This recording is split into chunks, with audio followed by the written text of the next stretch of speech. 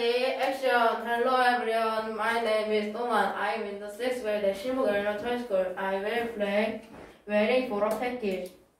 I am so excited to get my package. I know you are coming until this afternoon, but I just can't wait. I wish the mail carrier came earlier. My papa said he mailed the package a week ago. I guess it did have to travel quite a distance. He, he said he sending a lot of things,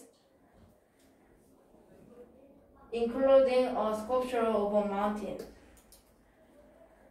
I hope he included some photographs. He said there is a lot of snow on the ground, and the fireplace in his house is always lit. I can imagine that I will search every day. Having a pen pal is great fun, but waiting for packaging is no fun at all. The end. Thank you for listening.